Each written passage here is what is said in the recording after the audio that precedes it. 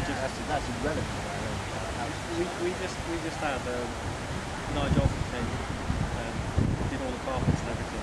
So he fitted them